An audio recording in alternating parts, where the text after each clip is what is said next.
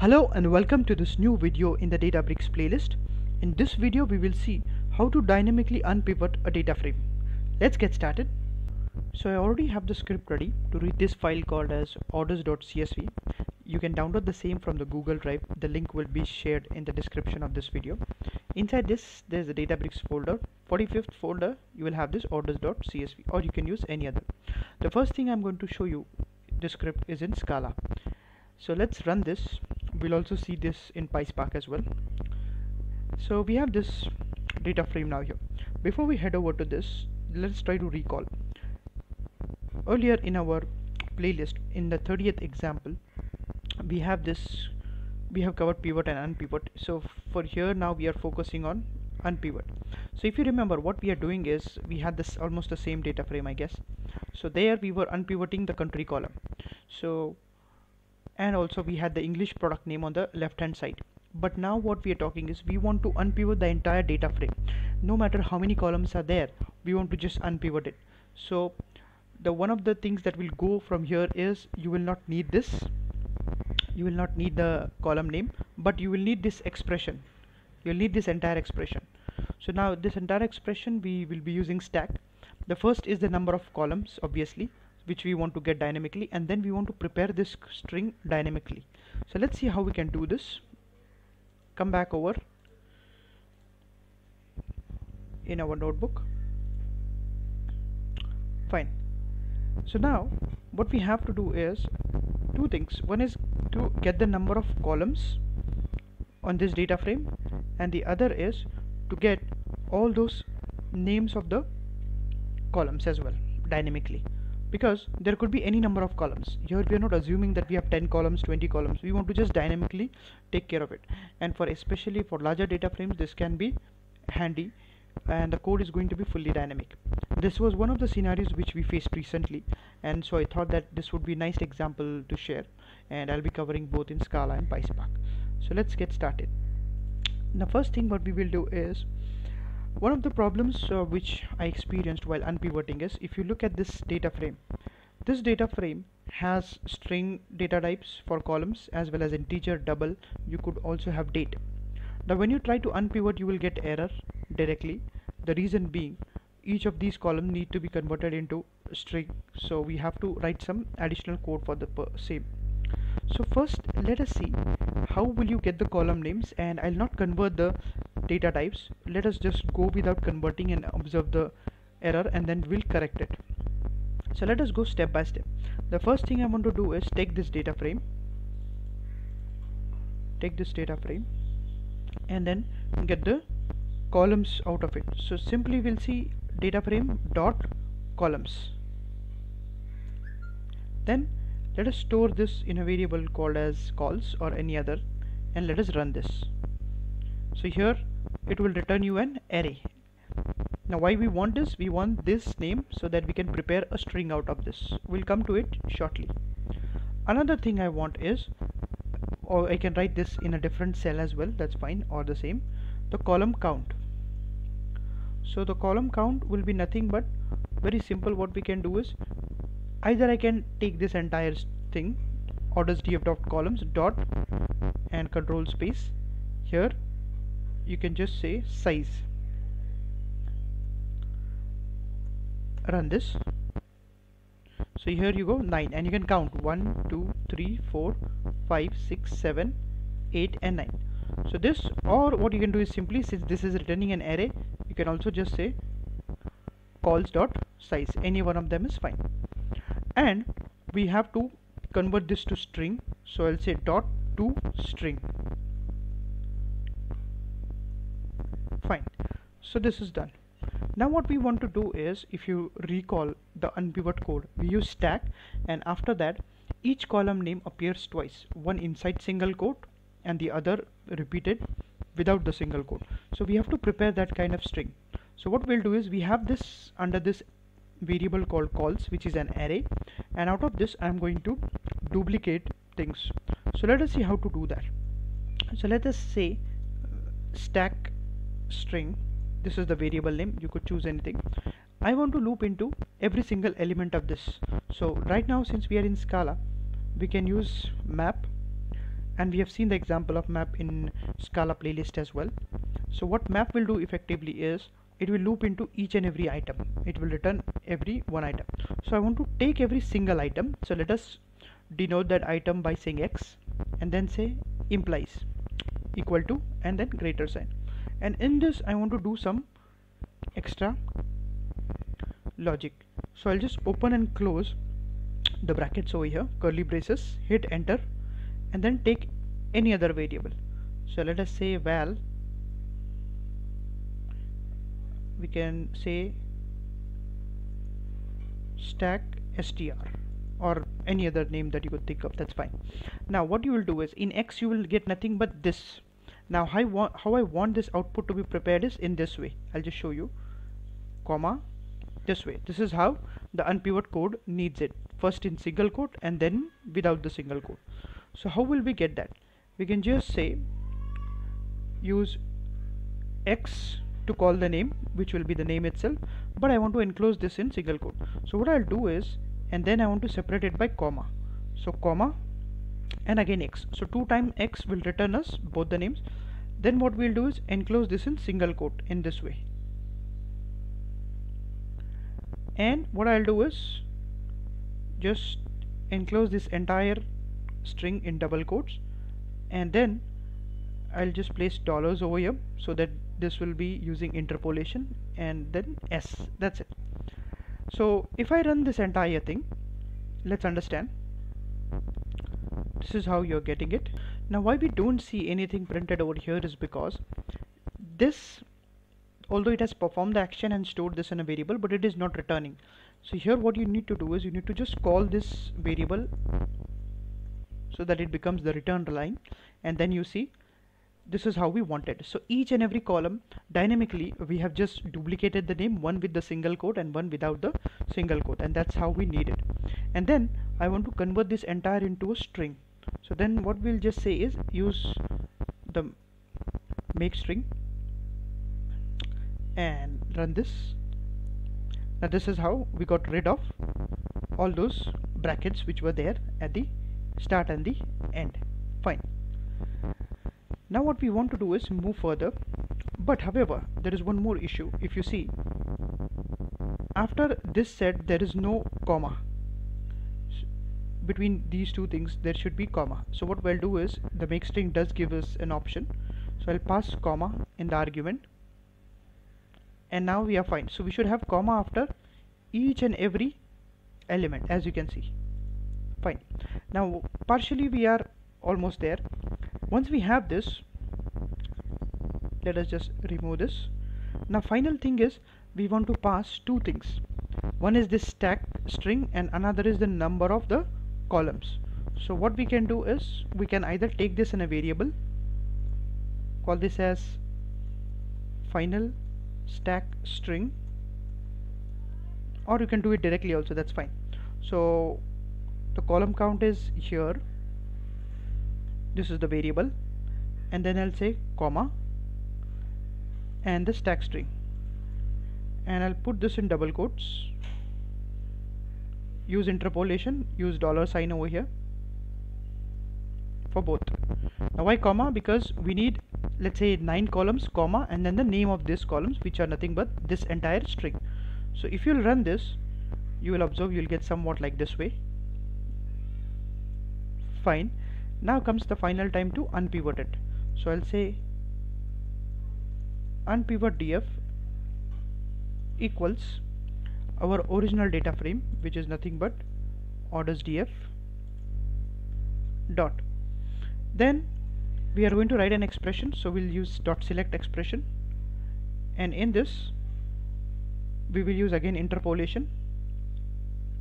Here we'll pass stack. And inside this we'll just pass this string. And since we are using interpolation I'll prefix dollar before the variable. And then we'll get two columns by unpivoting. So let them call this as let's say key comma value. You can name them anything that's fine. And then let's do display unpivot. Let's run this. Now here you see you will get error cannot resolve so and so due to data type mismatch argument to string. Now what happens is over here this is what I've encountered. So all of these data types are not the same. Some of them are string some of the columns are integer double. You could also have dates. So what we'll do is we have to bring them into same data type because eventually uh, one of the logics is these all columns will form these all columns will form one single column the column names will be on the left hand side which will be obviously string and the values will be on the right hand side which will be which should have the same data type because they will be coming into single column. So we just have to add one extra line of code before we do this. And in order to do what we will do is once we read the data frame even before before uh, doing anything we'll just cast these columns into string. So in order to do that I'll import few things. Import org.apache.spark .sql dot first we need is functions. We need the col function. I'll just copy this paste and then we need the string type. So we'll say types dot string type. Fine. Now what I'm going to do is take this data frame and cast every column to string.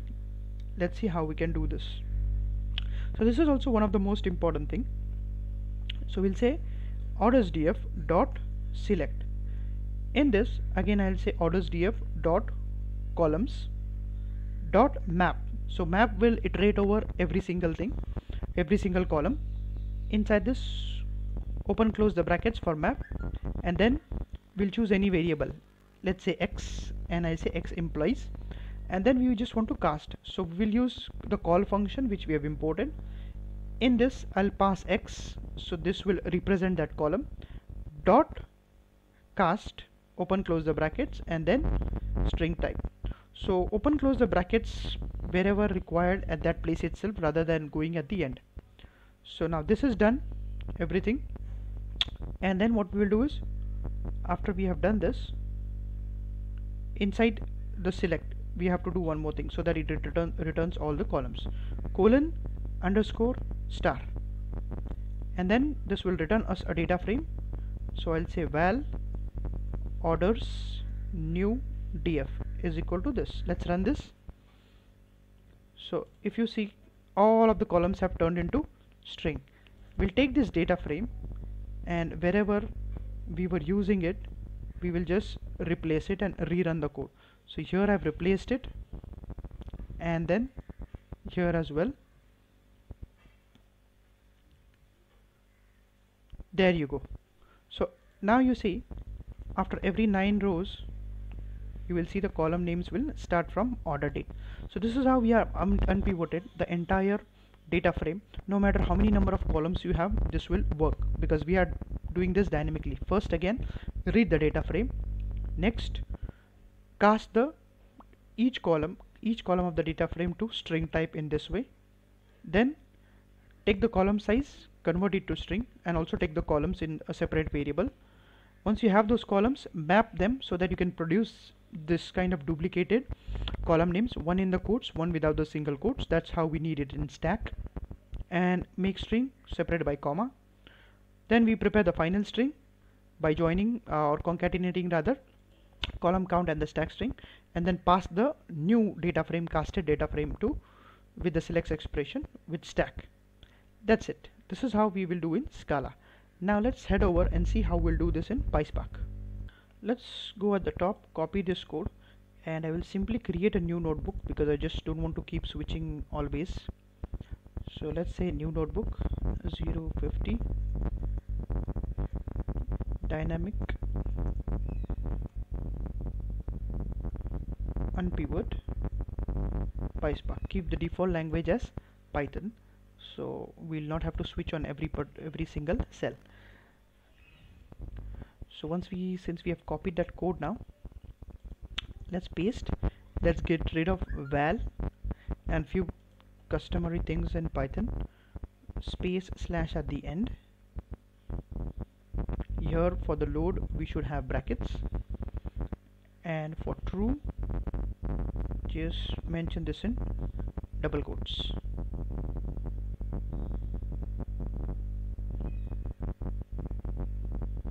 Fine. let's run this.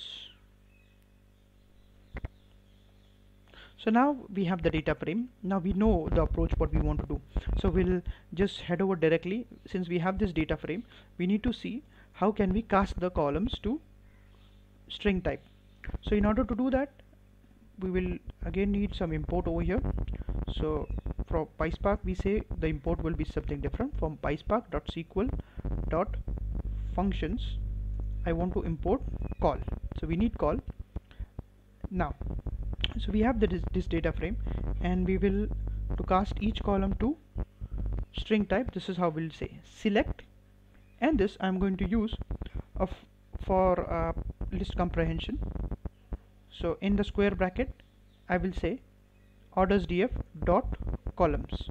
Now remember if I just write this code over here if you just say orders df dot column the way in Scala it returns an array here it is instead going to return us a list. You can see the square bracket. You can also save this in a variable and check the data type. So here what I'll do is I am going to use a list comprehension to loop over in every single column of this data frame and convert it into string how can I do it is take the column over here make some space over here. So we'll say col. Inside this choose any variable like let's say x. And then I'll say dot cast. And cast this to string. And then begin the for x in. So this is nothing but the expression we are saying whatever column is going to be fetched from the for loop cast it to the string. Each column will be pulled in this variable and then it will be casted. And then in turn this will return us a new data frame. So I'll call this as orders new df is equal to this. Run this. Sorry.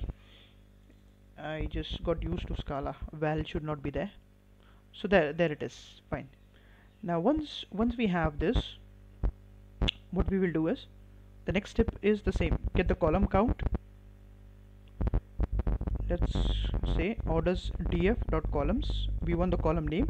So let's store this in a variable called as cols. Run this. Same code but just I'm storing this in a variable. Now the difference is here it will not be printed. So I would want to show you this step as well. So let's say print cols there you have it. The next thing what we want is the column count there we were saying orders df dot columns and then the count. Or the size rather I think. If you see. Call cols dot size. Here what we'll do is this is nothing but a list. So just a slightly different way how we are going to do it. So let us call this as column count is equal to this is our list. And we want the length. So we'll use the length function. And then print column count. Run this. So there you see you have 9 fine. Now once we have done this the next step is to prepare that string dynamically. Now it will be again a little bit different in Python. How we did over here is we took the call and then mapped over it. Here I'm going to do it in a slightly different way. So the name of the column is nothing but it is stored in this list called as cols. So we will use again uh, sort of list comprehension over here. So let's see step by step how to do this. Let us say I choose stack cols. This is a variable. This is our variable in which we have the list. So I want to loop into every single element of this and just duplicate this. So what I'll do is I'll start with this way. So I'll say for x in cols so this will loop into every single thing. Now I want to make this as a list comprehension. So I'll enclose this in square bracket in this way.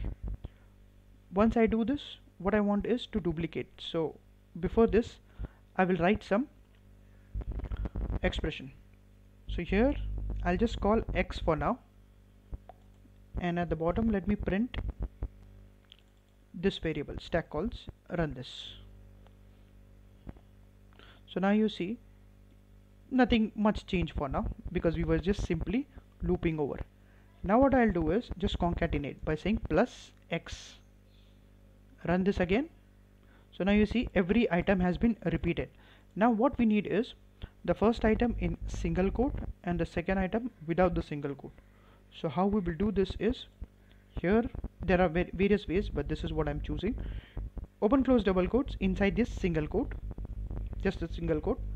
Plus and here again I'll just copy the same. In this way here there should be plus as well. Let's run this first and see. So now I'm getting in this way single quote for the first item and then order date. Plus what I also need is after the first item which is here after the single quote ends I should have a comma so I'll just mention comma over here run this again. So we have that comma now. And then I just want to join this everything. Now I see these double quotes over here. I don't want double quotes for every single item inside this. So what we will do is we will just join all of this together. And in order to do that I'll simply just initiate a blank string then say dot join open the bracket since join is a function we are going to pass this entire list into it run this and this is how we want it. But after the second item of each of the item in the list we are not getting comma. So what I'll do is simply just mention comma over here. So here you see this is the final string that we wanted. So the first name should be in single quote and then without the single quote repeated in this fashion. Fine. So once we have this now we are ready to unpivot so what I can do is I can prepare a final stack string or I can directly pass. So I, let's call this as final stack string. This will be nothing but what? Our column count plus you can use interpolation as well that's fine.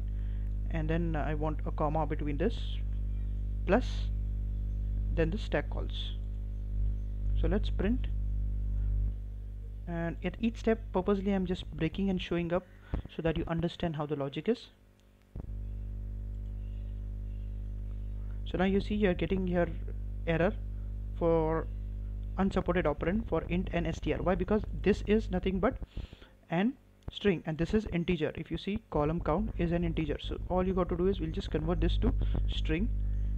How you can do it you can just convert it here itself or at the bottom so use str so this is fine and then rerun this.